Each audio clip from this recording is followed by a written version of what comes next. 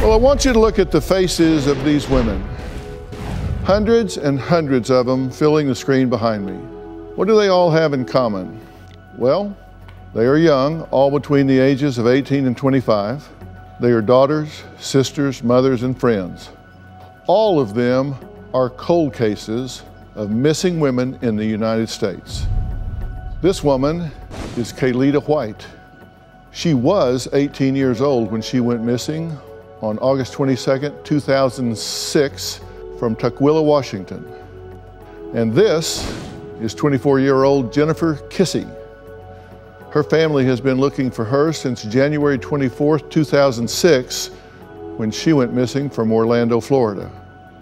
And this is 20 year old Laurie Depies. Laurie's boyfriend Mark says that 26 years ago, on August 19, 1992, Laurie vanished without a trace. Laurie and I met when we were about 15, 16 years old and started dating four years later. Laurie and I talked about marriage.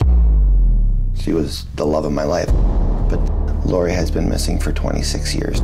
She was just gone. It was like out of nowhere on Sunday, August 19th, 1992. Laurie called me from the mall at her job and said that she'd be coming over. Around 9.40ish, I heard her car pull up because she had an extremely loud muffler. They heard her car arrive. She had a VW Rabbit that had a distinct muffler issue. Nobody actually saw her. After I heard Laurie drive in, uh, I waited maybe 30 seconds or so. I walked out onto my deck, and roughly where this silver car is here was her car. She had a cup sitting right about here, and nothing else looked disturbed. The one big clue was a drink container left on the car's hood. However, that drink never provided investigators with any type of a link. I called the police probably literally within 10, 15 minutes. We were just walking all over the neighborhood, looking for her, calling her name, walking into apartment buildings, just looking for hours. I remember seeing one of the police officers open up one of the garbage cans specifically, and that's when it just really kind of threw me off. Like, wait a minute, they're looking for her body. Mark says his life changed forever that night. When the news of Laurie's disappearance hit their small town, Mark says his community turned against him and started pointing fingers. It has been 26 years and Mark has never spoken out, never given a single interview until now. When Laurie disappeared, I knew that I would be one of the prime suspects. The FBI was following me around for probably a good seven, eight months. People in restaurants saying, hey, that's the guy that killed his girlfriend.